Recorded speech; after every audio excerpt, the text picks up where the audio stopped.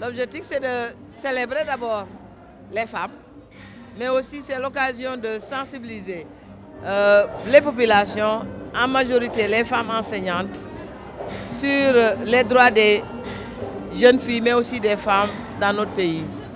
C'est aussi l'occasion de souligner certains aspects des violences basées sur le genre euh, dans l'académie, dans nos écoles, dans nos familles et surtout promouvoir en même temps euh, les droits, la prise en charge de ces violences-là.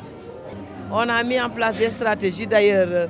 Euh, la panéliste qui a présenté, Mme Faye, qui est responsable du bureau genre, a posé les problèmes, a aussi souligné les activités qui sont menées pour sensibiliser les enseignantes, les enseignants, mais aussi les jeunes filles et les jeunes garçons, ainsi que les communautés sur cette problématique.